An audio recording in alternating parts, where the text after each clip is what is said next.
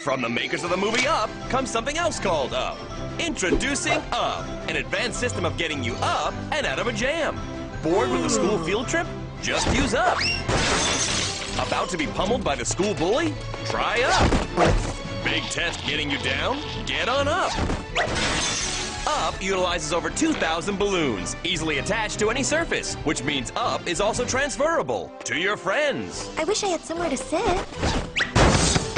Your dog, Ah! even your room. That room better not be messy. Good job. But this great deal is almost up. Time for school class. So get up. Warning the makers of Up aren't responsible for where you end up.